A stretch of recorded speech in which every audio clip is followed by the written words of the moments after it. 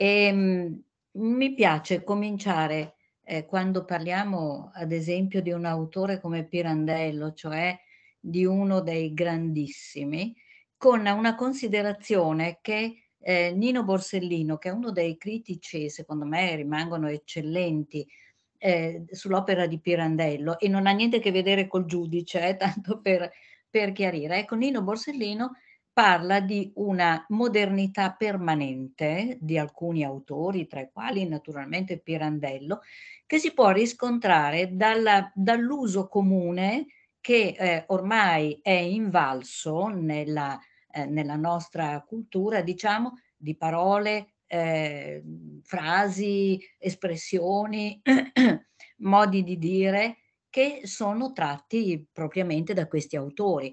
Allora, ad esempio, per Pirandello parliamo addirittura di derivati dal suo cognome. Pensiamo all'aggettivo pirandelliano o al sostantivo pirandellismo che noi usiamo in realtà abbastanza eh, comunemente, comunque è entrato no?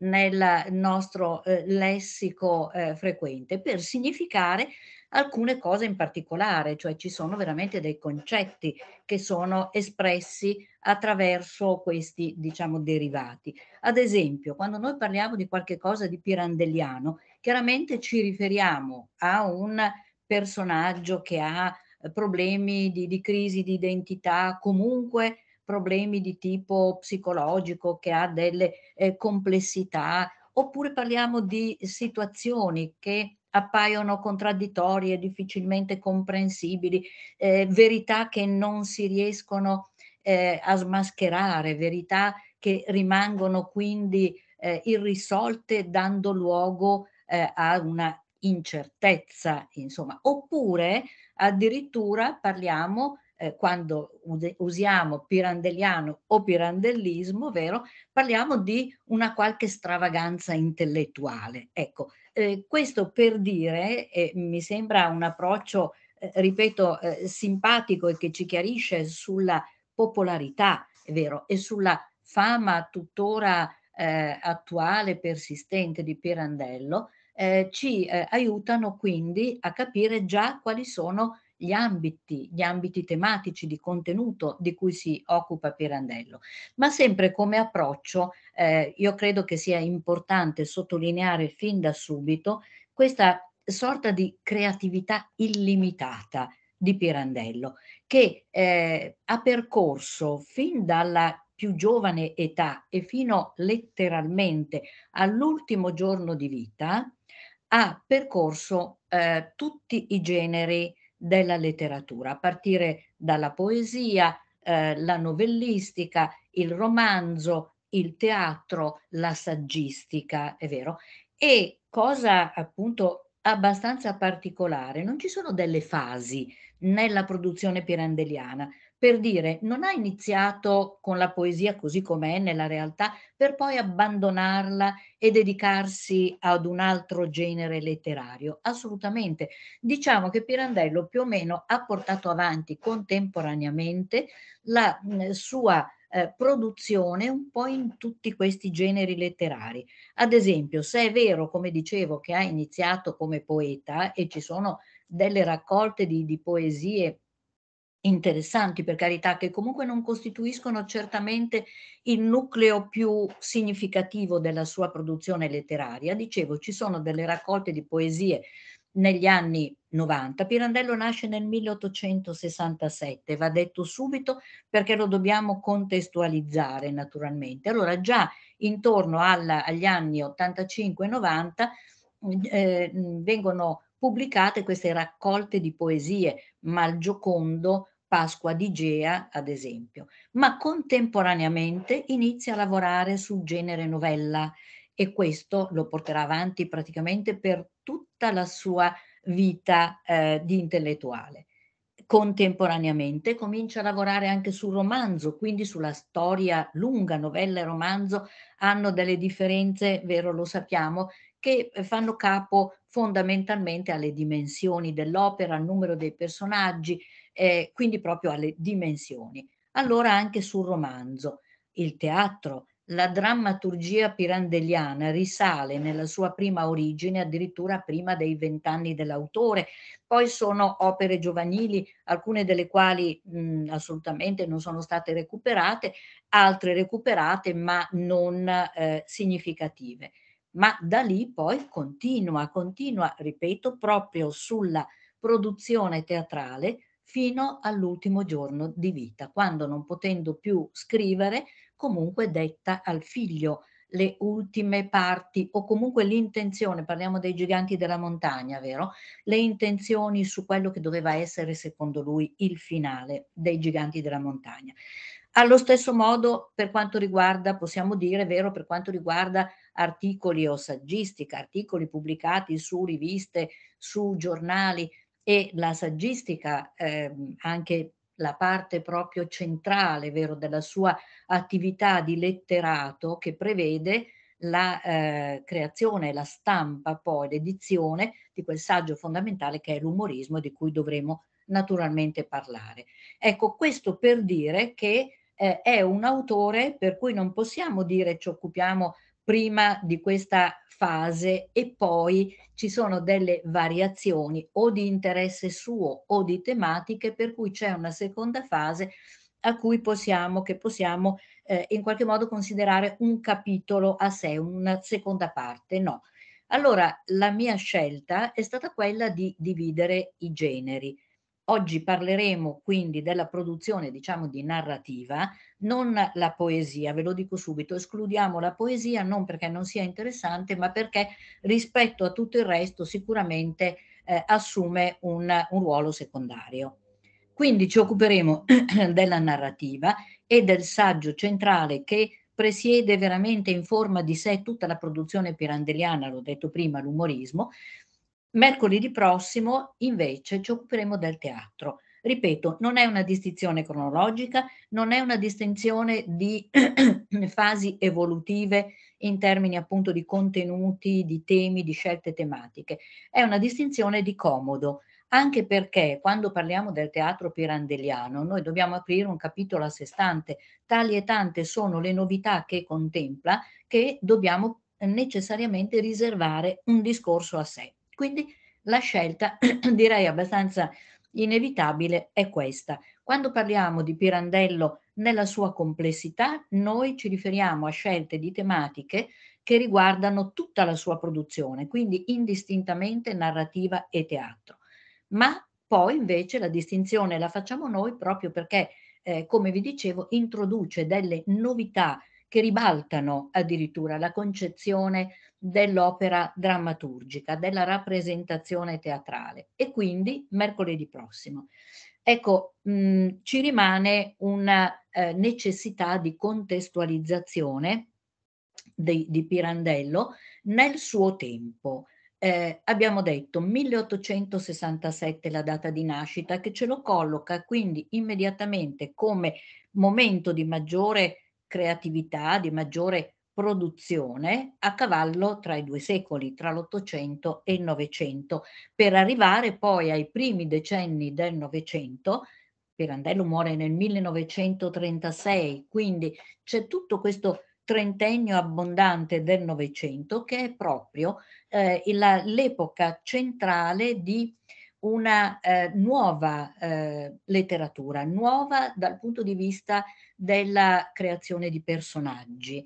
L'abbiamo già visto con Svevo e quindi ci risulta forse un pochino più facile, vero, richiamarci a questo, eh, al fatto che quindi si eh, acquisisce nella letteratura europea e quella proprio ad altissimo livello una eh, necessità di eh, creazione di nuovi personaggi che non sono più gli eroi eh, positivi, gli eroi letterari si intende, vero? Positivi tipicamente ottocenteschi, ma sono appunto questi personaggi che testimoniano una difficoltà, che testimoniano quindi un disagio profondo. E questo nasce da un terreno comune, diciamo naturalmente, da un terreno comune che è quello della consapevolezza di una crisi di tipo eh, culturale ideologico, vero? Addirittura, che sta a significare crisi nella ragione in fin dei conti.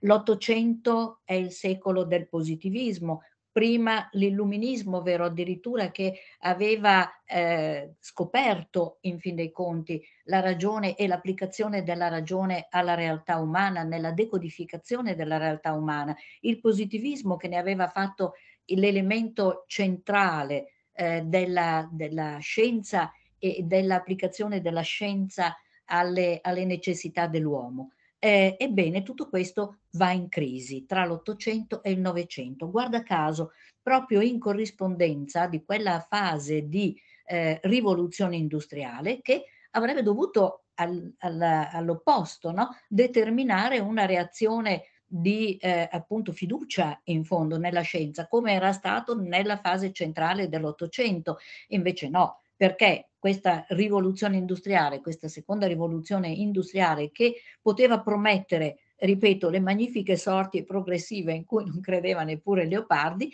ma eh, in realtà è deludente perché non suscita con tutte le contraddizioni che comporta, vero, eh, questo momento di cambiamento, di trasformazione, di, di passaggio delle strutture produttive, eh, di conseguenza della, eh, della eh, struttura sociale, eh, quindi un passaggio culturale, vero, importante, ma determina invece, dicevo al contrario, tutta una, una serie di contraddizioni, di difficoltà. Noi lo sappiamo, le prime fasi dell'industrializzazione sono improntate a una contraddizione per cui eh, non, non, si crea quel benessere vero eh, ampio in cui si sperava. Allora esplodono le contraddizioni sociali e poi sempre questa prima fase del Novecento coincide con quelle tensioni di tipo storico-politico che porteranno alla prima guerra mondiale, che Pirandello vivrà non a lui direttamente, ma nelle persone dei suoi figli,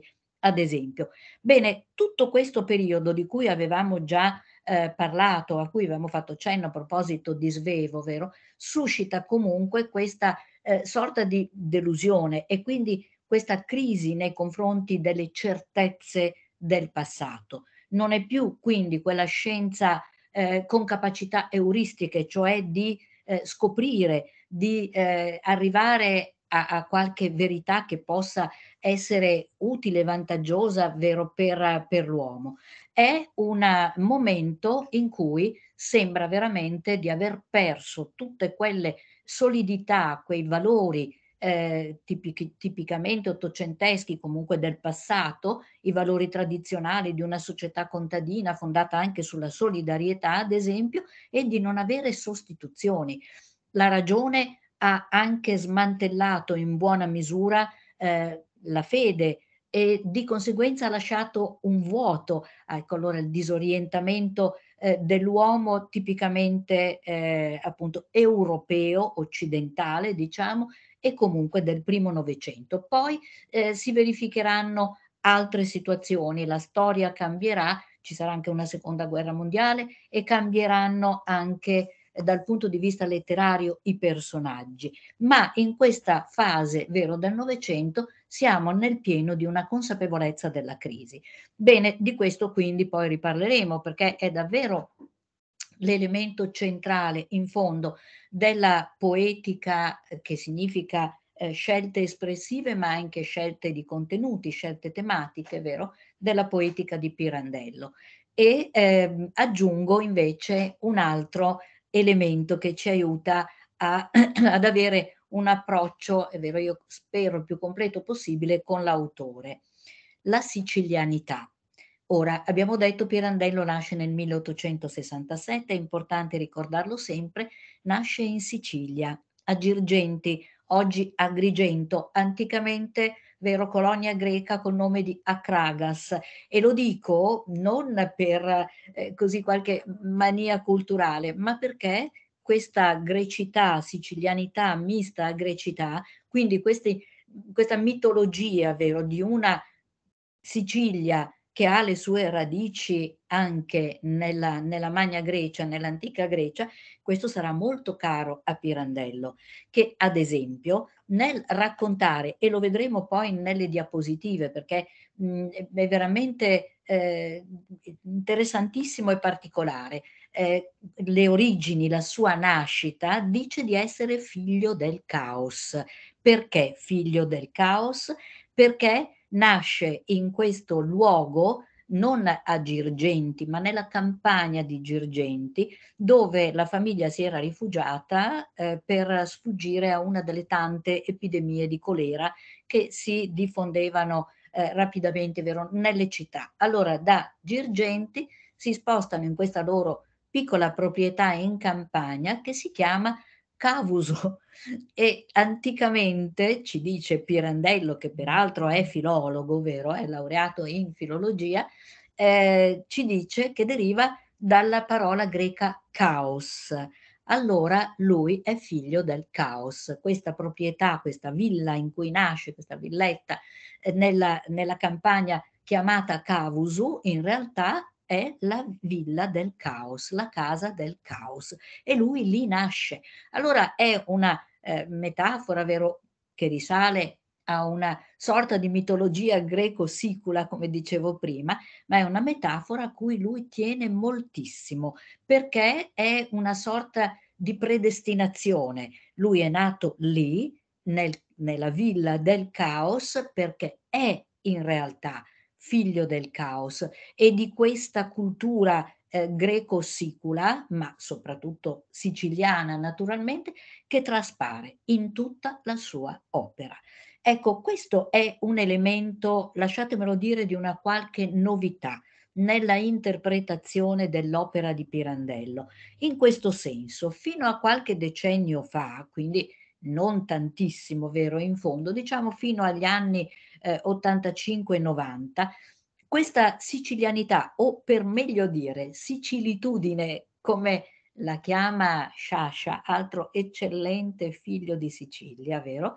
Bene, questa sicilitudine pirandelliana era stata misconosciuta, non era considerata come un elemento caratterizzante della sua opera comunque come un elemento costante nella sua opera, al contrario, per fortuna appunto sono stati poi eh, invece elaborate delle analisi diverse, degli studi diversi che hanno messo in evidenza, che hanno messo in luce quanto è importante l'origine vero di cultura siciliana che eh, Pirandello comunica, che davvero è una sorta di erede in fondo di questa eh, di questa sicilitudine, poi appunto reinterpretata con questa, alla luce di questa modernità di cui stiamo parlando, vero, che caratterizza tutta la produzione di Pirandello, ma rimane comunque di base anche questo fondo di sicilianità. E dove lo ritroviamo?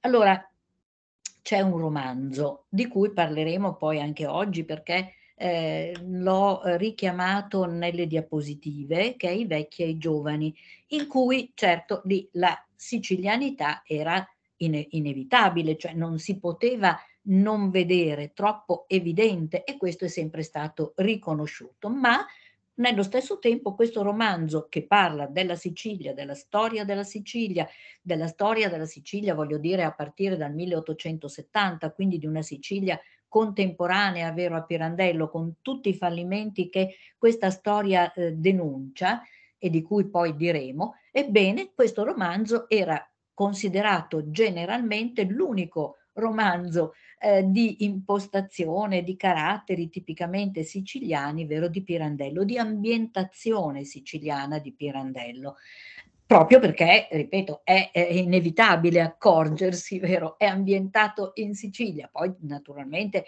anche in altri luoghi, a Roma dove ci sono i centri di potere, ma comunque è tutto vero, fa tutto riferimento alla Sicilia e ai personaggi della Sicilia. A parte i vecchi e i giovani, tutto il resto invece no. I vecchi e i giovani sono un romanzo ancora di stampo un po' ottocentesco in fondo nella struttura, è vero, ma per tutto il resto anche nei vecchi e giovani ci sono personaggi tipici della, mhmm, mondo, del mondo pirandelliano. Ci sono personaggi che ritroviamo poi sviluppati diversamente, contestualizzati diversamente, ma che ritroviamo nei romanzi, nelle rovelle, nel teatro di Pirandello. Quindi questa separazione, vero, che era stata fatta, i vecchi giovani, romanzo tradizionale, unico romanzo tradizionale di stampo verista di Pirandello, unico romanzo che eh, in qualche modo richiama la Sicilia, è caduta. Per fortuna, finalmente, io ne ero assolutamente convinta, ero convinta che non fosse una giusta interpretazione.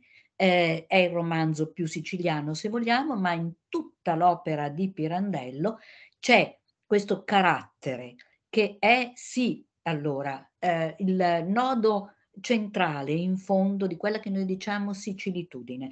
Quindi quella sensazione di eh, amarezza, di fallimento che viene da una convinzione di fallimenti secolari addirittura e che la cultura siciliana si porta dietro dalle diciamo da Verga in poi, vero? Attraverso, passando attraverso Federico De Roberto con i viceré, Tomasi di Lampedusa con il Gattopardo, Leonardo Sciascia con tutta la sua produzione e anche Pirandello. Certo che c'è in Pirandello questo aspetto evidentissimo di una disincanto, di una disillusione, di uno scetticismo che è tipico dell'anima siciliana.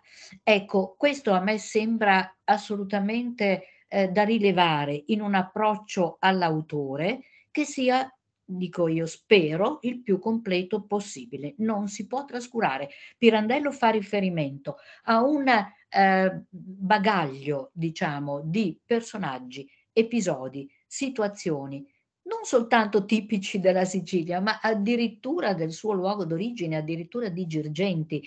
Lui eh, ricava da questa, da questa sua eh, esperienza di vita siciliana, da cui poi si allontanerà eh, molto presto, tra l'altro, prima a Bonn e poi definitivamente a Roma, dove rimarrà per tutto il resto della sua vita, diciamo a partire dagli anni 90-95 in poi, ma rimane comunque presente, vero, una, eh, nella sua formazione, tutto questo mh, patrimonio, diciamo, di personaggi, episodi, modi eh, di, di, di, vedere la vita, punti di vista che sono tipicamente eh, siciliani, appartengono all'anima siciliana.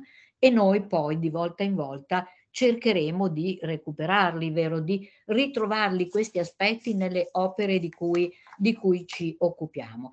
Ecco, ma per esemplificare concretamente e quindi io spero più chiaramente quello che noi intendiamo quando parliamo di personaggio tipicamente pirandelliano, io credo che sia opportuno fare riferimento ai due personaggi che appaiono più compiuti, vero, nella produzione, nell'ambito della produzione pirandelliana e che sono Mattia Pascal e Vitangelo Moscarda.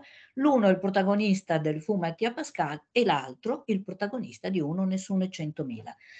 Ma perché io dico i più compiuti? Perché naturalmente sono i protagonisti di romanzi, quindi di una storia lunga in cui l'autore ha la possibilità di sviscerare eh, meglio, eh, è vero, le reazioni, eh, l'evoluzione dei personaggi che porta i due protagonisti da una eh, normalità di vita a una straordinarietà di soluzione di vita.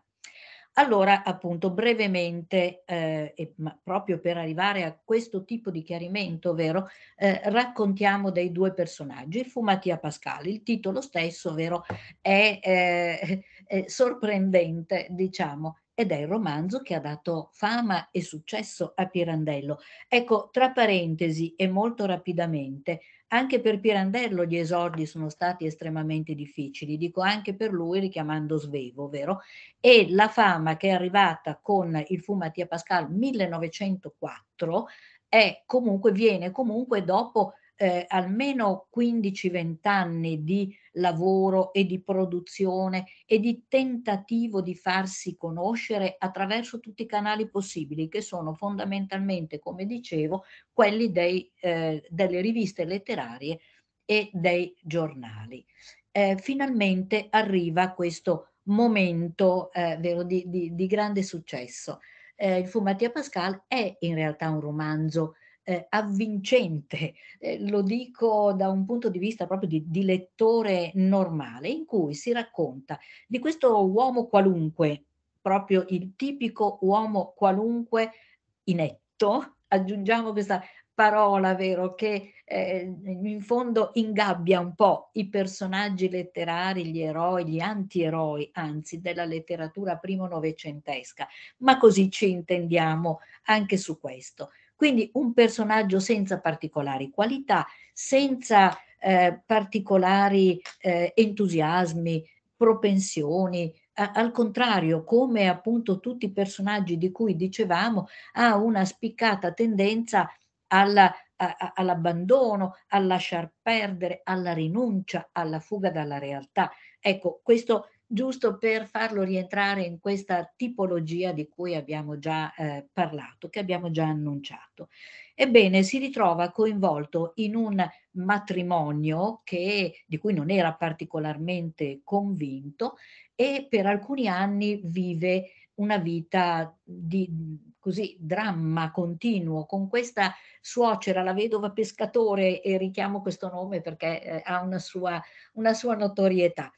Eh, questa, questa suocera che è terribile, che ce l'ha con lui perché per la figlia voleva ben altro e a un certo punto, quando è davvero sul punto di fuggire, dicevo la propensione, vero l'inclinazione alla fuga dalla realtà, e, e, si allontana effettivamente dalla casa dopo la morte, peraltro, di questa figlioletta eh, piccina che non era mai stata, sempre stata gracile, insomma, per cui più niente sembrava legarlo a quell'ambiente, decide quindi di allontanarsi. Non è una decisione eh, definitiva quella che assume Mattia Pascal, ma c'è una coincidenza che è legata a questa casualità della vita, altro elemento dominante nella, nei temi pirandelliani e non solo di, di Pirandello, ma proprio degli autori del tempo, la casualità della vita.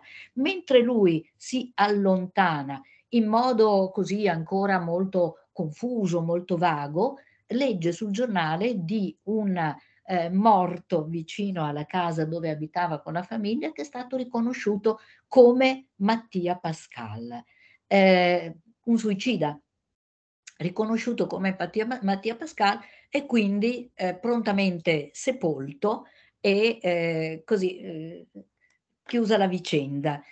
Per, per, dirla appunto molto brutalmente, ma perché Mattia fin da subito concepisce l'idea che questa sua presunta morte avrebbe fatto molto piacere alla vedova pescatore, ad esempio. Allora Mattia decide di morire davvero, di morire come Mattia Pascal e intraprende questo viaggio senza una meta precisa.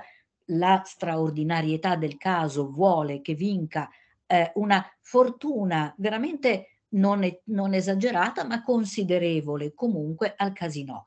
E sulla base di questi di questi due casi della vita che si sono sommati nello stesso momento, insomma, decide di sparire e di rifarsi una vita, di rifarsi una vita come Adriano Meis, quindi una nuova identità. Perché se vogliamo dare un nome definitivo, centrale e definitivo a questo tema e a questa tipologia di personaggi, noi dobbiamo anche dire che la crisi di questi personaggi antieroi uomini qualunque, senza particolari eh, qualità, è la crisi di identità, cioè è il chiedersi davvero chi, chi siamo. In, in, una società così eh, complessa e rispetto alla quale eh, questa tipologia umana non ha la capacità di entrare in un eh, rapporto, diciamo, operoso. Ecco, è sempre dall'esterno, rimane sempre ai margini questa, questo tipo di personaggio. Bene, tornando al nostro Mattia Pascal diventato Adriano Meis, adesso possiamo operare una sintesi rapidissima, vero? Perché non ce la fa, non è possibile.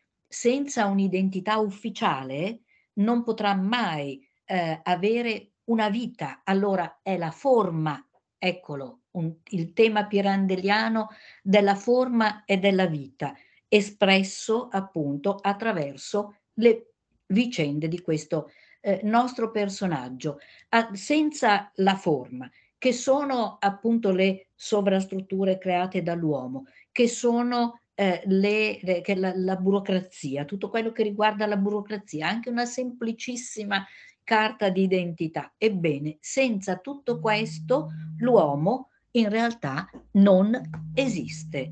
Adriano Meis non esiste e allora non può fare niente, non può affittare una casa, poi sì lo farà, ma mentendo continuamente, non può eh, sposarsi naturalmente, eppure conoscerà una giovane donna che potrebbe piacergli, avrebbe potuto piacergli e la vita è veramente bloccata. Allora, arrivato all'esasperazione di tutto questo, all'esasperazione della finzione che una vita di questo genere gli impone inevitabilmente, ebbene decide di uccidere Adriano Meis.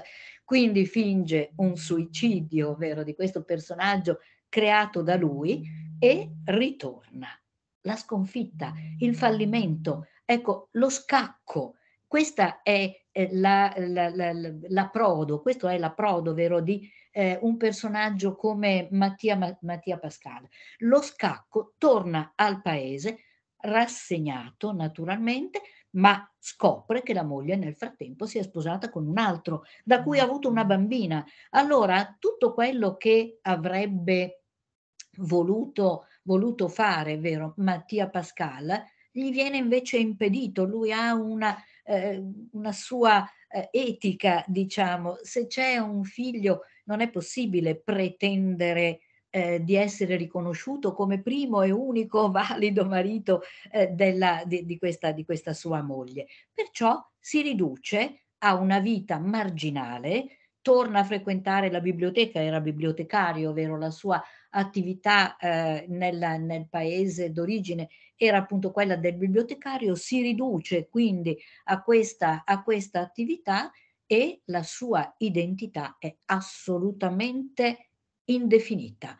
Non può più essere Adriano Meis, questo l'abbiamo ben capito, ma non può essere nemmeno Mattia Pascal nel pieno della, della sua appunto identità. Quindi può essere soltanto il fu Mattia Pascal. Ecco, questo per porre tutto eh, in modo, voglio dire, eh, concreto, no? sull'esempio quindi di una storia inventata, creata eh, da Pirandello, per porre alcuni dei suoi temi centrali, quello dell'identità e quello della forma che si contrappone alla vita. Questo ce lo dirà sempre Pirandello in tutta la sua produzione. La forma è contraddittoria rispetto alla vita perché è statica e siamo noi a creare la forma, cioè questa sorta di gabbia no? entro la quale l'uomo deve vivere, gabbie, gabbie di vario, di vario genere, ma la vita non è quella, la vita, quella è l'apparenza della vita, la vita in realtà è fluida,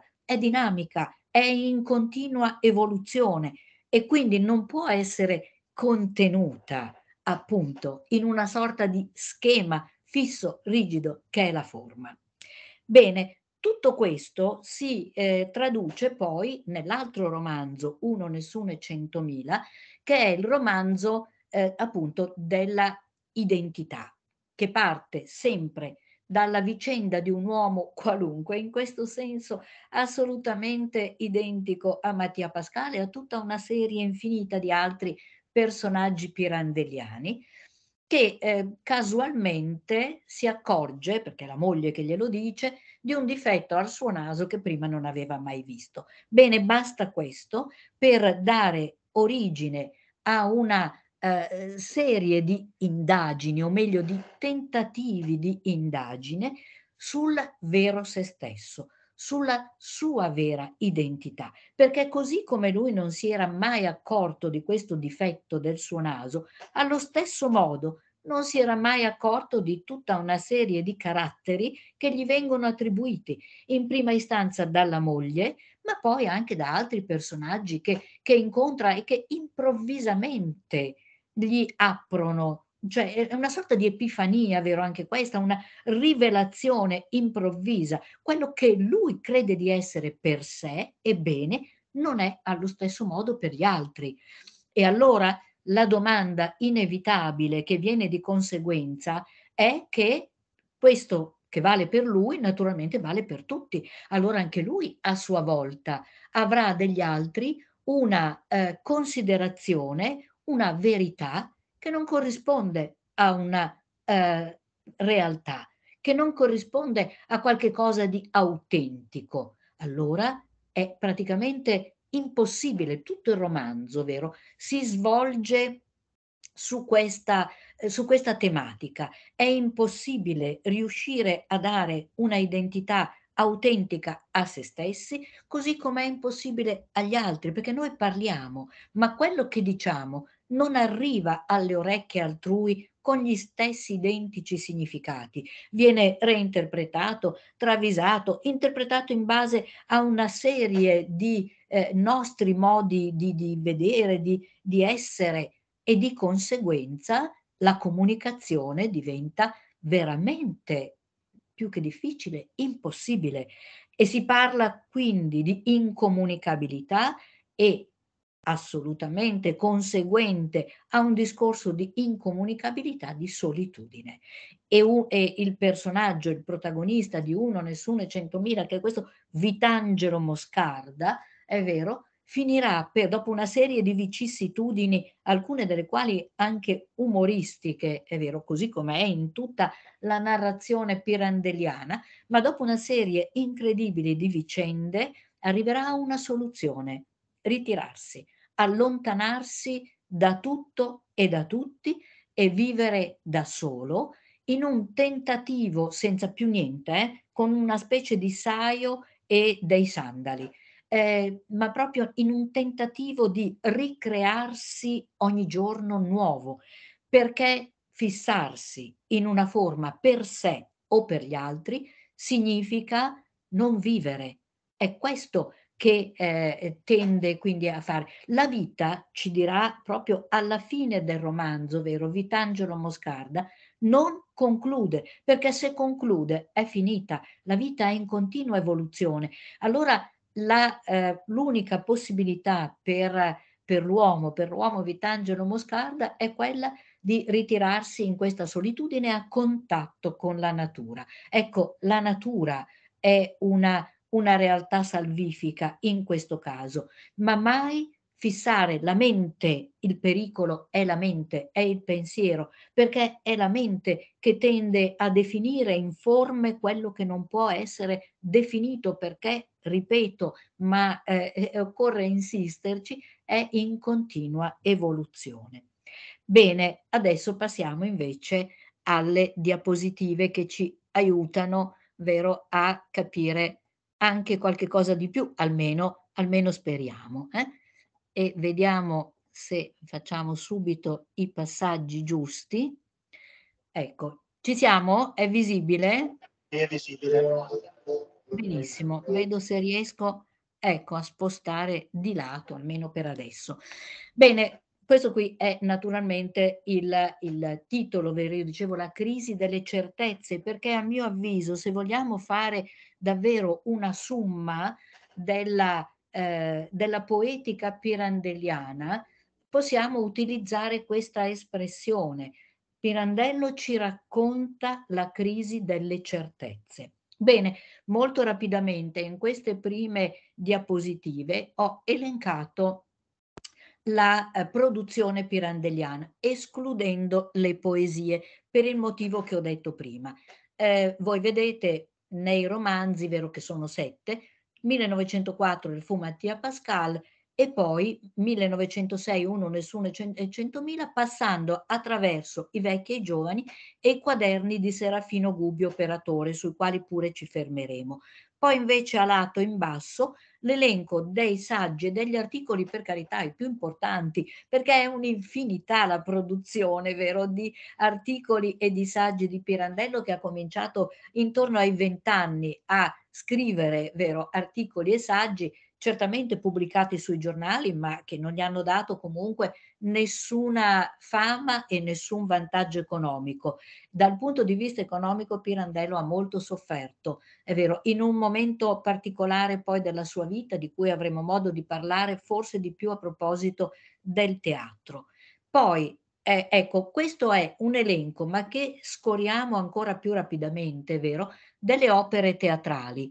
Come vedete, la prima, 1910, eh, sembra essere stata quindi scritta e pubblicata e mh, prodotta in un periodo già un pochino più maturo della sua vita. Invece no, perché pubblicata sì nel 1910, ma scritta negli anni 90, addirittura nell'88, quindi c'è una gestazione precedente, vero, che ci fa capire come Pirandello si sia occupato di teatro fin da subito, in pratica, fin dall'inizio della sua attività di scrittore.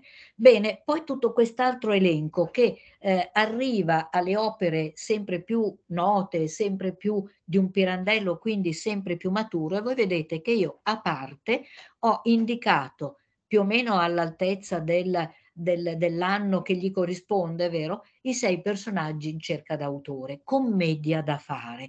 Perché? Perché se noi abbiamo detto prima che il teatro pirandelliano presenta una serie di novità e di eh, modificazioni, vero, che rimarranno indelebili nel teatro successivo, bene, in tutto questo processo di rinnovamento, di eh, reimpostazione del, del teatro, i sei personaggi segnano un passaggio veramente centrale. Ecco perché l'ho messo da parte, a parte. E poi tutte le altre, eh, gli altri drammi, commedie, vero scritte, ripeto, fino all'ultima che voi vedete porta la data I giganti della montagna del 1937. Come Pirandello muore nel 36, ecco, ma vi dicevo prima così accidentalmente. Pirandello muore praticamente creando, non si può dire scrivendo perché negli ultimi giorni non riusciva, muore di polmonite peraltro, e negli ultimi giorni non riusciva più a tenere in mano la, la, la penna. Allora detta al figlio e rimane comunque incompiuta l'ultima parte dei giganti della montagna e sarà proprio il figlio Stefano Pirandello, vero, a eh, riproporre eh, questo finale, così come era nella mente del padre, Stefano Pirandello a sua volta è un autore, è un letterato e quindi eh, è in grado, voglio dire, di eh, trascrivere il meglio possibile quello che il padre aveva in mente. Naturalmente dobbiamo sapere che fino a un certo punto è eh, tutti, in tutti i suoi aspetti di Pirandello e in questa parte finale vero? In quest'ultima parte dell'ultimo atto c'è invece un intervento di, del figlio Stefano. A proposito dei figli di Pirandello, scusate, scorro rapidamente, ecco, per tornare alla prima diapositiva, dove voi vedete questa immagine di Pirandello nel ritratto del figlio, ritratto dal figlio. Fausto Pirandello, eh, pittore di fama, pittore di talento, che eh, ha avuto tutto un suo percorso ed è tuttora vero considerato un pittore di qualità, ma non così tra, tra i tanti. Eh? Ecco, in effetti. L'altro invece autore che aveva cambiato il cognome in Landi proprio per non essere confuso, vero, con questo padre ingombrantissimo e famosissimo che era Luigi Pirandello. Eccolo qua, il la villa del caos di cui Pirandello parla in un frammento di autobiografia incompiuta che lui ha intitolato Informazioni sul mio involontario soggiorno sulla terra. Pensate quanto è pirandelliano questo titolo, vero? E in cui ci dice una notte di giugno caddi come una lucciola sotto un gran pino solitario in una campagna d'olivi saraceni affacciata agli orli di un altopiano d'argille azzurre sul mare africano la notte, il suo nero, pare lo faccia per esse, che volando non Ora qua, ora là vi aprono un momento quel loro languido sprazzo verde. Qualcuno ogni tanto cade e si vede allora sì e no quel suo verde sospiro di luce in terra che pare perdutamente lontano. Così io vi caddi quella notte di giugno. E questa è la lapide sempre nella villa, nel giardino della villa del caos, vero, dove sono state incise alcune di queste parole che abbiamo letto insieme, che sono proprio di Pirandello, la prima parte di questo brano. Arriviamo invece all'umorismo, che secondo me è prioritario, non cronologicamente, ma per comprendere meglio vero, la poetica pirandeliana, dobbiamo necessariamente partire da questo, da questo saggio, perché tutta l'opera di Pirandello, in fondo, è improntata a questo criterio dell'umorismo, interpretato, definito come una sorta di erma bifronte, di la, una faccia della quale ride del pianto dell'altra. Quindi l'umorismo come sentimento del contrario. E leggiamo rapidamente. Abbiamo detto che ordinariamente nella concezione di un'opera d'arte la riflessione è quasi una forma del sentimento, quasi uno specchio in cui il sentimento si rimira. Volendo seguitare quest'immagine, si potrebbe dire che nella concezione umoristica la riflessione è sì come uno specchio, ma d'acqua di accia, in cui la fiamma del sentimento non si rimira soltanto, ma si tuffa e si smorza. Il friggere dell'acqua è il riso che suscita l'umorista. Il vapore che ne esala è la fantasia, spesso un po' fumosa, dell'opera umoristica. E ci fa un esempio manzoniano, riportato appunto nel suo saggio. A questo mondo c'è giustizia finalmente, grida Renzo, il promesso sposo appassionato e rivoltato. Tant'è vero che un uomo sopraffatto dal dolore non sa più quel che si dica, commenta il Manzoni. Quindi Renzo ha detto uno, uno sproposito, insomma, che nella contraddittorietà della sua situazione, cioè di chi sta subendo un'ingiustizia gravissima, suscita quello che noi, che Pirandello ci dice, è il sentimento del contrario. Non l'avvertimento, l'avvertimento del contrario, che vuol dire cogliere, vero, questa contrapposizione, questa contraddizione superficialmente, quella è la comicità. L'umorismo è quando invece il sentimento e non l'avvertimento del contrario genera una sorta di, eh, di pena. Esteticamente e psicologicamente l'umorismo può considerarsi come un fenomeno di sdoppiamento nell'atto della concezione. Erma bifronte che ride per una faccia del pianto della faccia opposta. Ancora sull'umorismo. Questo è uno dei, eh, dei passaggi più noti, è vero, quando proprio arriva alla esemplificazione di quello che si intende per umorismo.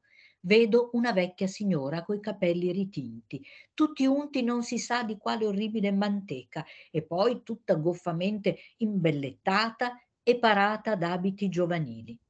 Mi metto a ridere. Avverto che quella vecchia signora è il contrario di ciò che una rispettabile signora dovrebbe essere. Posso così arrestarmi a questa espressione comica il comico è appunto un avvertimento del contrario. Ma se ora interviene in me la riflessione e mi suggerisce che quella vecchia signora non prova forse piacere a pararsi così come un pappagallo, ma che forse ne soffre e lo fa soltanto perché pietosamente si inganna che parata così, nascondendo le rughe e la canizie, riesca a trattenere a sé l'amore del marito molto più giovane di lei, Ecco che io non posso più riderne come prima, perché appunto la riflessione, lavorando in me, da quel primo avvertimento del contrario, mi ha fatto passare a questo sentimento del contrario. Ed è tutta qui la differenza tra il comico e l'umoristico. E a me sembra di una chiarezza eccezionale, cioè come dire che quando appunto interviene la riflessione e non può non intervenire se quello che noi vediamo sulla scena o che leggiamo o che vediamo nella, nella vita comune, insomma, ci dà qualche spunto di riflessione, ebbene, quando interviene la riflessione, non possiamo non accorgerci che dietro una contraddizione, ad esempio come questa, c'è eh, qualche cosa che ci induce alla compassione, alla pietà. C'è una fragilità, c'è una debolezza, c'è un tentativo di superare un problema senza magari riuscirci, ma c'è qualche cosa comunque che induce, insisto, alla pietà.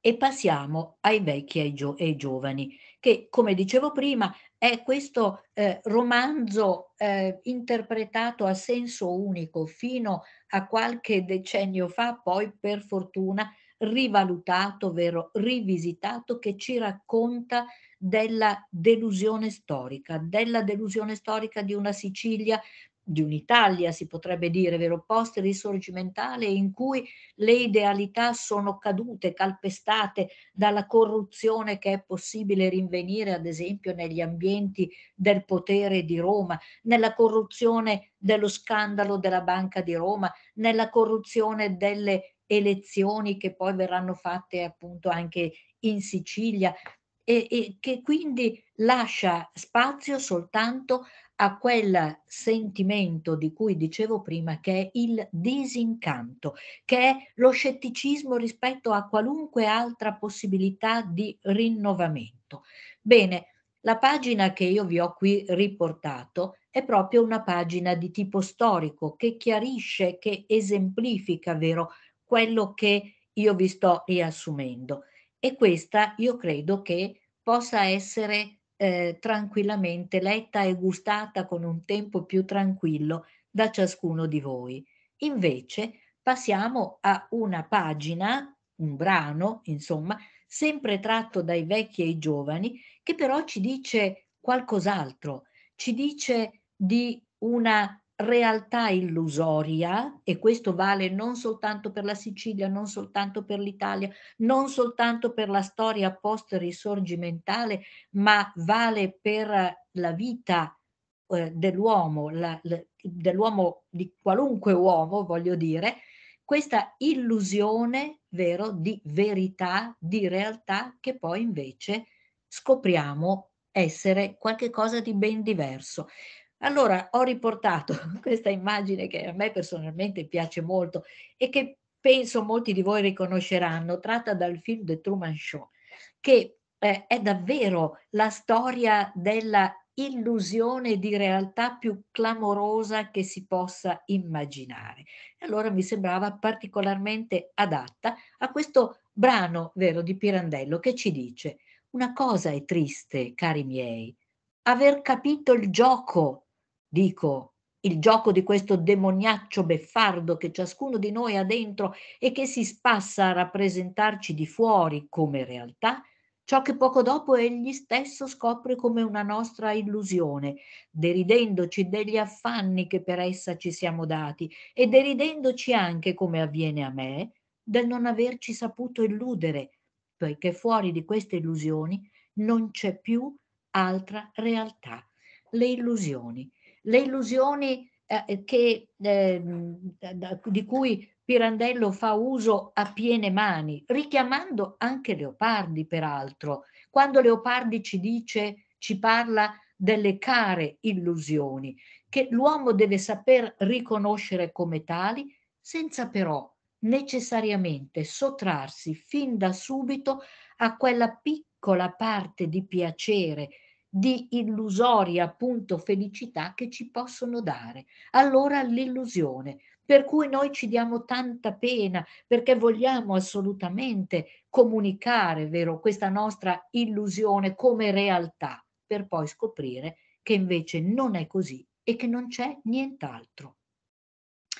Sempre dai vecchi ai giovani, a proposito di questa grecità e, e si, sicilitudine insieme, vero? Di cui parlavamo prima, eh, appunto, sempre riguardo alla formazione di Pirandello.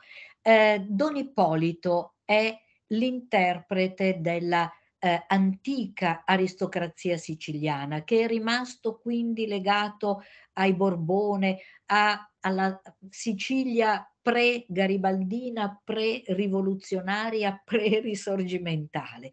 E che quindi si è creato un suo luogo speciale, diciamo, nella villa dove abita, in, in questi giardini eh, vicino alla Valle dei Templi, vero di Agrigento, in vista dei templi, eh, che esiste ancora oggi peraltro, eh, e che appunto gli danno il senso di un passato eh, che ovviamente non può più ritornare, di un passato glorioso, quello a cui lui si rifà, il mito appunto della Grecia, lui è un archeologo, oltre a essere un eh, eh, ancora convinto borbonico, è comunque un archeologo che coltiva, vero, questa sua passione per la terra e per la Sicilia legata a un particolare momento della sua storia. E ci dice, Don Ippolito guardò i tempi che si raccoglievano austeri e solenni nell'ombra e sentì una pena indefinita per quei superstiti d'un altro mondo e d'un'altra vita. Tra tanti insigni monumenti della città scomparsa, solo ad essi era toccato in sorte di vedere quegli anni lontani, vivi, essi soli già, tra la rovina spaventevole della città, morti ora, essi soli, in mezzo a tanta vita d'alberi palpitanti, nel silenzio di foglie ed ali. Dal prossimo poggio di tamburello pareva che muovesse al tempio di Era Lacinia, sospeso lassù, quasi a precipizio sul burrone della Kragas, una lunga e folta teoria d'antichi chiomati olivi.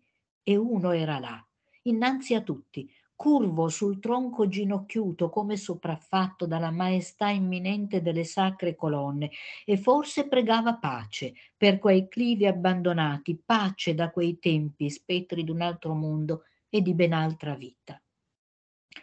E qui siamo invece, no, ecco, un'ultimissima considerazione a proposito dei vecchi e i giovani. Mi pare abbastanza evidente come in alcune parti, io ne ho riportate alcune, ma in realtà in molte parti di questo romanzo noi possiamo ritrovare il pirandello classico, quello a cui siamo abituati, vero? Che eh, riflette in continuazione sulla eh, interiorità dell'uomo, che si ferma a considerare eh, la vita del passato e quindi questo fluire, questo passaggio di vita e morte nella fattispecie legato all'osservazione dei templi, ma comunque in questo tipo, immerso vero, in questo tipo di riflessioni.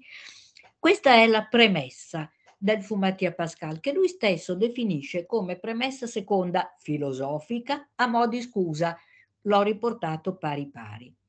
Siamo o non siamo su un'invisibile trottola trottolina, cui fa da ferza un fil di sole, su un granellino di sabbia impazzito che gira e gira e gira, senza saper perché, senza pervenir mai a destino, come se ci provasse gusto a girar così per farci sentire ora un po' più di caldo, ora un po' più di freddo e per farci morire, spesso con la coscienza d'aver commesso una sequela di piccole sciocchezze, dopo 50 o 60 giri, Copernico, Copernico, don Eligio mio, ha rovinato l'umanità irrimediabilmente. Ormai noi tutti ci siamo a poco a poco adattati alla nuova concezione dell'infinita nostra piccolezza, a considerarci anzi men che niente nell'universo, con tutte le nostre belle scoperte e invenzioni. E che valore dunque volete che abbiano le notizie, non dico delle nostre miserie particolari,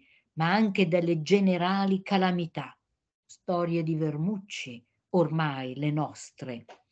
Ecco, già nella premessa ci dice tutto. Don Eligio è il prete, il sacerdote, a cui Mattia si rivolge tornando al suo paese per eh, cercare di recuperare un contatto che fosse minimamente autentico, laddove lui appunto non sa più che cosa sia la sua autenticità.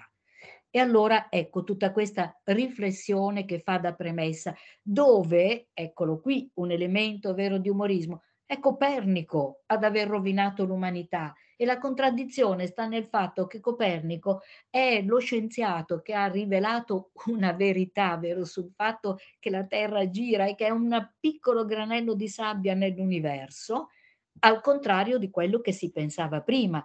Allora, di fronte a questa scoperta copernicana, qual è la dimensione che l'uomo ha eh, capito per sé? Quella di un verme di un nulla che niente può fare rispetto, voi vedete, alla casualità delle calamità generali oppure anche rispetto alle scoperte e alle invenzioni. Ecco quello che dicevo prima, la perdita di fiducia nella ragione e nella ragione scientifica. A che cosa ci serve? Ma vedete quanto è leopardiana questa domanda che si fa appunto Mattia Pascal. È la domanda su a che cosa serve tutto questo, questo sapere che la Terra gira e che gira intorno al Sole e che gira per 50 o 60 giri per ciascuno di noi e poi tutto si esaurisce, tutto finisce. Ancora Mattia Pascal, in una serie di riflessioni nel momento in cui ha deciso di assumere un'identità nuova, di trasformarsi in Adriano Meis. Vivrò con me e di me, come ho vissuto finora. Sì, ma ecco, per dir la verità, temevo che della mia compagnia non mi sarei tenuto né contento né pago. E poi, toccandomi la faccia e scoprendomela sbarbata, passandomi una mano su quei capelli lunghi o rassettandomi gli occhiali sul naso, provavo una strana impressione. Mi pareva quasi di non essere più io, di non toccare me stesso. Siamo giusti. Io mi ero conciato a quel modo per gli altri, non per me. Dovevo ora stare con me così mascherato? E se tutto ciò che avevo finto e immaginato di Adriano Meis non doveva servire per gli altri, per chi doveva servire? Per me? Ma io semmai potevo crederci solo a patto che ci credessero gli altri. Ora, se questo Adriano Meis non aveva il coraggio di dir bugie, di cacciarsi in mezzo alla vita e si appartava e rientrava in albergo, stanco di vedersi solo in quelle tristi giornate d'inverno per le vie di Milano, e si chiudeva nella compagnia del morto Mattia Pascal, prevedevo che i fatti miei eh, avrebbero cominciato a camminar male, che insomma non mi s'apparecchiava un divertimento e che la mia bella fortuna allora, ecco, tutte le riflessioni, vero, di Adriano Meis nel momento in cui comincia a realizzare come Adriano Meis, Mattia Pascal naturalmente, vero, come sia difficile vivere in un'altra città, Milano, poi diventerà Roma, poi passerà a Roma, ma comunque in un'altra città, in un altro ambiente dove nessuno lo conosce, quindi l'illusione era quella di poter tranquillamente diventare un altro e invece comincia a capire che non è possibile. Altro brano, vero, che ci aiuta a capire questo, ma io vi leggo quello eh, a, a, destra, quello con la scritta in bianco, che è un dialogo che interviene tra Mattia Pascale, in quel momento Adriano Meis, e un conoscente, una conoscenza casuale, vero, fatta lì in un bar di Milano. Lei non è di Milano, è vero? No. Di passaggio? Sì. Bella città Milano, eh? Bella già. Pareva un pappagallo ammaestrato e più le sue domande mi stringevano e io con le mie risposte m'allontanavo. E ben presto fui in America. Ma come l'ometto mio seppe che ero nato in Argentina, balzò dalla sedia e venne a stringermi calorosamente la mano. Ah, mi felicito con lei, caro signore, la invidio. Ah, l'America, ci sono stato. C'era stato, scappa! In questo caso, m'affrettai a dirgli, devo io piuttosto feci- felicitarmi con lei che c'è stato, perché io posso quasi quasi dire di non esserci stato, tutto che nativo di là. Ma ne venni via di pochi mesi, sicché dunque i miei piedi non hanno proprio toccato il suolo americano. Ecco, che cosa si deve inventare in un colloquio qualunque, parlando con una persona praticamente sconosciuta, per la paura di essere smascherato. Si deve inventare allora di essere nato in America, poi questa combinazione c'è stato, quindi di esserne venuto via subito. È questo cumulo di bugie che alla fine sconforta e costringe eh, Mattia Pascal a tornare a essere Mattia Pascal. Ed eccolo qui, il finale del libro, in un'immagine che secondo me è bellissima, tratto da un film che è stato fatto proprio sul romanzo Le due vite di Mattia Pascal di Mario Monicelli nell'85 con protagonista un Marcello Mastroianni che era calato perfettamente nella parte e che era proprio la tipologia di attore giusta, vero, per diventare Mattia Pascal Adriano Meis. Ho messo circa sei mesi a scrivere questa mia strana storia, aiutato da lui, da Don Eligio, il prete, che gli ha consigliato proprio per eh, scaricarsi di mettere per iscritto tutta la sua vicenda. Di quanto è scritto qui, egli serberà il segreto, come se l'avesse saputo sotto il sigillo della confessione. Abbiamo discusso a lungo insieme sui casi miei e spesso io gli ho dichiarato di non saper vedere che frutto se ne possa cavare. Intanto questo, egli mi dice, che fuori dalla legge, fuori di quelle particolarità liete o triste che siano, per cui noi siamo noi, caro signor Pascal, non è possibile vivere. Ma io gli faccio osservare che non sono affatto rientrato né nella legge né nelle mie particolarità. Mia moglie è moglie di Pomino e io non saprei proprio dire chi io mi sia nel cimitero di Miragno, sulla fossa di quel povero ignoto che s'uccise alla stia, c'è ancora la lapide scritta, dettata da Lodoletta. Colpito da versi fati, Mattia Pascal, bibliotecario, cuor generoso, anima aperta, qui volontario riposa. La pietà dei concittadini, questa lapide pose. Io ho portato la corona di fiori promessa e ogni tanto mi reco a vedermi morto e sepolto là Qualche curioso mi segue da lontano. Poi, al ritorno, s'accompagna con me, sorride e, considerando la mia condizione, mi domanda: Ma voi, insomma, si può sapere chi siete? Mi stringo nelle spalle, socchiudo gli occhi e gli rispondo: Eh, caro mio, io sono il Fu Mattia Pascal.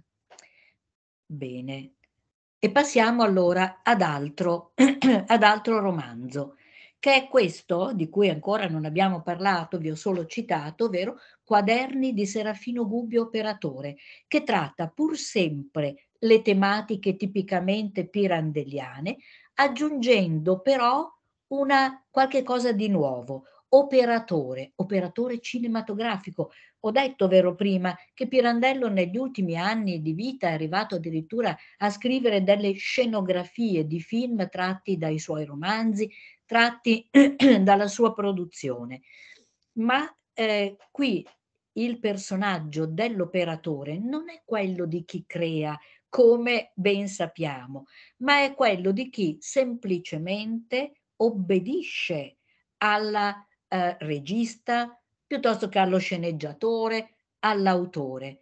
Quindi guarda attraverso la macchina da presa, ma non fa altro che girare la manovella a seconda di quello che gli dicono di fare.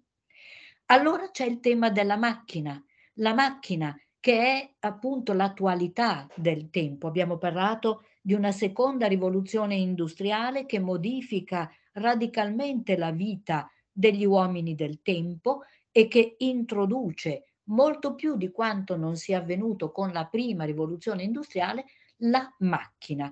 I futuristi hanno esaltato la macchina e l'applicazione della macchina alle attività dell'uomo come appunto quella che eh, il, il, voglio dire l'elemento che favorirà un progresso rapido e immediato e incredibile. Pirandello al contrario vede nella macchina qualche cosa di estraneo, addirittura di ostile, che toglie umanità all'uomo, lo disumanizza, gli toglie ancora una volta un pezzo di identità.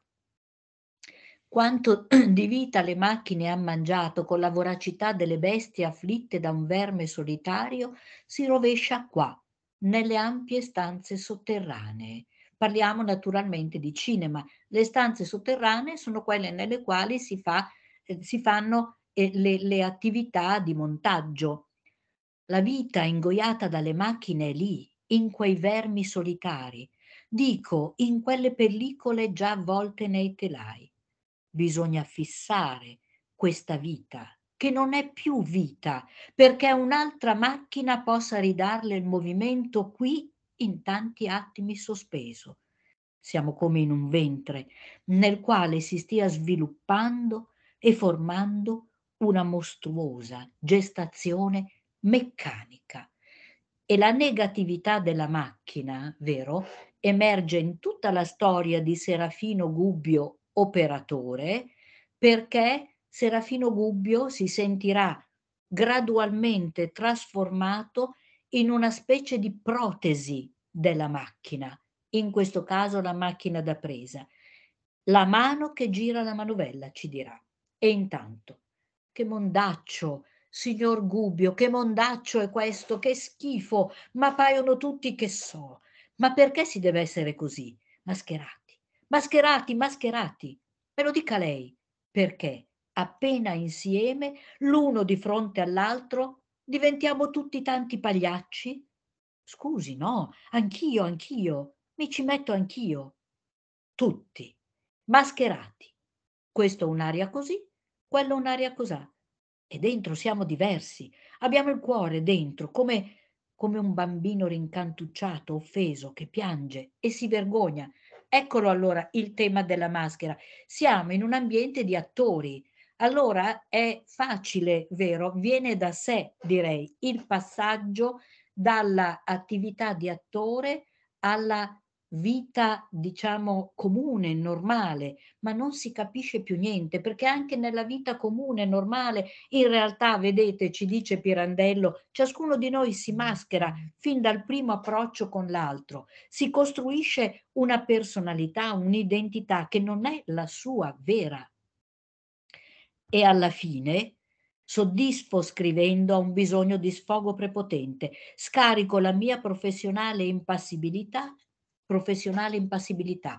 Il manovratore, l'operatore deve essere impassibile e rimarrà impassibile anche Serafino Gubbio quando davanti ai suoi occhi si consumerà una tragedia, e cioè l'attore invece di uccidere la tigre che avrebbe dovuto uccidere, uccide l'attrice di cui era estremamente geloso, per essere poi a sua volta sbranato dalla tigre. E tutta questa tragedia si consuma davanti alla cinepresa di Serafino Gubbio, che rimane impassibile anche davanti a questo, ormai disumanato. Non è altro, e dice, con me vendico tanti, condannati come me a non essere altro che una mano che gira una manovella. Eccola qui, la disumanizzazione totale. E allora, appunto, l'avversione per la macchina o comunque se proprio non vogliamo parlare di avversione, perché poi, ripeto, Pirandello è il primo a, ad adeguarsi a, per la sua curiosità di creatore, vero, a partecipare a questa attività di cinema, se non vogliamo parlare di eh, ostilità nei confronti della macchina, ma sicuro scetticismo. Bene, arriviamo quindi a uno, nessuno e centomila, sperando sempre che il tempo ci permetta di... Ecco, e vi ho detto, vero, già qualche cosa di questo Vitangelo Moscarda che scopre improvvisamente in una vita, eh, all'interno di una vita comune, quieta, tranquilla, senza variazioni, di uomo sposato senza figli, ancora giovane, benestante, eccetera, scopre improvvisamente di non essere giudicato dagli altri per quello che lui pensa di essere, per arrivare poi alla fine a non essere più sicuro nemmeno dell'identità che lui si era riconosciuta. Non mi conoscevo affatto non avevo per me alcuna realtà mia propria. Ero in uno stato come di illusione continua, quasi fluido, malleabile. Mi conoscevano gli altri? Ciascuno a suo modo, secondo la realtà che mi avevano data, cioè vedevano in me, ciascuno, un moscarda che non ero io, non essendo io propriamente nessuno per me, tanti moscarda quanti essi erano. Eccolo qua il titolo. Uno, nessuno, centomila. Uno, l'identità che lui credeva di avere per sé, di essere per sé. Centomila, tante quante sono le infinite possibilità di incontri nella vita, per cui ciascuna delle persone che incontriamo ci vede così come noi non pensiamo assolutamente di essere. C'è una maschera per la famiglia, una per la società, per lav una per il lavoro e quando stai solo resti nessuno. Eccola, siamo già a una conclusione amara, vero? Perché da solo non si è nessuno in realtà. Vale la pena di crearsi una immagine quello che diceva anche Mattia Pascal, ma se io mi sono trasformato in Adriano Meis per poi rimanere da solo perché non ho il coraggio di affrontare tutte le bugie che devo raccontare al mondo per stare con gli altri, a cosa serve allora un'identità diversa? Per stare con me da solo? E qui lo stesso modo, tanto non si conosce, non ha, non ha più nessuna certezza quando noi diciamo la crisi delle certezze. Perché se ci pensate bene, questo è il meno che possa seguire dalle tante realtà insospettate che gli altri ci danno. Superficialmente, noi soliamo chiamarle false supposizioni, erronei giudizi, gratuite attribuzioni, cioè ciascuno di noi quando sente il giudizio degli altri che non corrisponde a quello che noi abbiamo di noi, in fondo le definisce così e risolve leggermente, superficialmente false supposizioni, erronei giudizi, gratuite attribuzioni. Ma tutto ciò che di noi si può immaginare è realmente possibile ancorché non sia vero per noi. Allora quello che è vero per gli altri è possibile. Che per noi non sia vero, gli altri se ne ridono, è vero per loro. Tanto vero che può anche capitare che gli altri, se non vi tenete forte alla realtà che per vostro conto vi siete data, possono indurvi a riconoscere che più vera della vostra stessa realtà è quella che vi danno loro. Nessuno più di me ha potuto farne esperienza. Un'esperienza drammatica perché quello che, eh, che attraversa, vero, eh, Vitangelo Moscarda è davvero una serie di rivelazioni drammatiche. Per arrivare a, a una conclusione Cadeva ogni orgoglio, vedere le cose con occhi che non potevano sapere come gli altri occhi intanto le vedevano. Parlare per non intendersi. Non valeva più nulla essere per sé qualche cosa. E nulla più era vero, se nessuna cosa per sé era vera. Voi sapete che per Pirandello si parla di relativismo noseologico, cioè di una conoscenza improntata al relativismo, per cui ciascuno vede le cose secondo il proprio intendimento.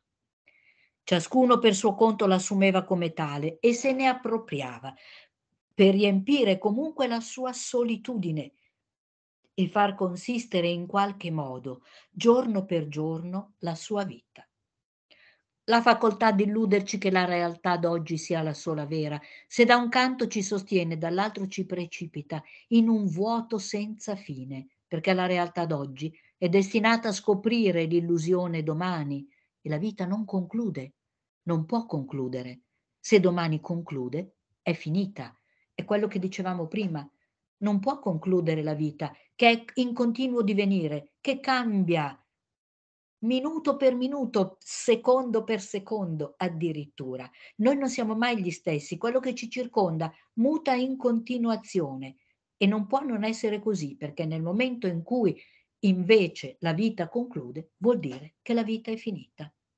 E l'ultima diapositiva, vero, per fortuna vostra, che è proprio quella della pagina finale di Uno, Nessuno e Centomila, quando Vitangelo Moscarda ha ormai assunto la decisione e sta già, anzi, vivendo in quella solitudine voluta, in quell'isolamento totale a contatto solo con la natura. E l'aria è nuova e tutto, attimo per attimo, è com'è, che s'avviva per apparire. Volto subito gli occhi per non vedere più nulla fermarsi nella sua apparenza e morire. Così soltanto io posso vivere ormai, rinascere attimo per attimo, impedire che il pensiero si metta in me di nuovo a lavorare e dentro mi rifaccia il vuoto delle vane costruzioni. Ecco il pericolo, il pensiero. È il pensiero che lavora e che fissa, schematizza, crea le gabbie, crea le forme, che sono però vuoto, vuoto di costruzioni vane. La città è lontana, me ne giunge a volte nella calma del vespro il suono delle campane. Ma ora quelle campane le odo non più dentro di me, ma fuori, per sé sonare, che forse ne fremono di gioia nella loro cavità ronzante in un bel cielo azzurro pieno di sole caldo, tra lo stridio delle rondini o nel vento nuvoloso pesanti e così alte sui campanili aerei. Pensare alla morte, pregare. C'è pure chi ha ancora questo bisogno e se ne fanno voce le campane. Io non l'ho più questo bisogno perché muoio ogni attimo io e rinasco nuovo e senza ricordi, vivo e intero, non più in me, ma in ogni cosa fuori.